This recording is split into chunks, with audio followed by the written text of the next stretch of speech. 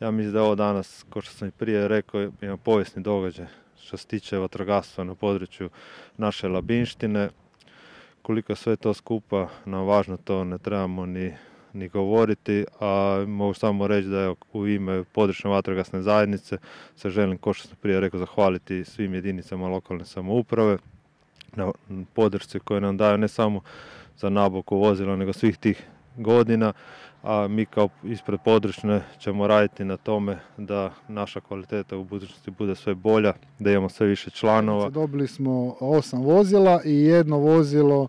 od Republike Hrvatske. To su e, dva manja šumska vozila, e, četiri pick-upa, jedno, jedno zapovjedno vozilo, jedno kombi za prijevoz ljudi i opreme, mi smo zadnji put dobili od 2006. tako da će ovo vozilo od države nam puno značiti jer je autocisterna sa 7 kubika vode. Neki puta kad čovjeku i ljudima na kraju krajeva ide dobro, zaboravimo na neke stvari na koje nikad ne smijemo zaboraviti, a jedna od tih je upravo sigurnost. Jedna je zdravlje, a druga je sigurnost. Za zdravlje smo dobili jedan šamar zadnje dvije godine, a što se tiče sigurnosti još nismo i zato mi je drago da je Istarska županija i vatrogasna zajednica županije Istarske ipak taj korak naprijed odnosno na ostatak Hrvatske i da nije e, jednostavno se prepustila, e, da tako kažem, e, komoditetu, nego da stalno se ulaže u opremu. Isto tako zahvalio bih im za sve što su odradili zadnje dvije godine u doba pandemije, jer su oni upravo bili stup naše civilne zaštite na čelu sa gospodinom Dinom Kozlevcem, ali i sa svim njegovim suradnicima i sa svim vatrogascima na, na širom području Istre.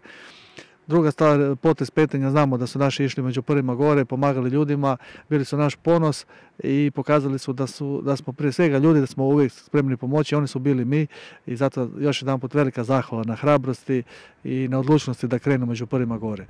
Dodatan poriv da dobro, dobro svi skupa razmislimo i da e, razmislimo o tome koliko su upravo ulaganja u ovakve stvari bitne. One su ljudima nevidljive, međutim kad treba svi ćemo zvati vatrogasce. Oni su puno više od vatrogasaca, oni su osnovna naše zajednice, e, županija, hvala Bogu, ni gradovi nemaju vojsku, hvala Bogu da nemaju, ne, prizivam, ali šta god se desi, ne samo vatra, prvo zovemo vatrogasce i zato je strašno bitno da je sustav dobro posložen, a definitivno isti to je slučaj i želim puno sreće i želim mirnu vatrogasnu sezonu.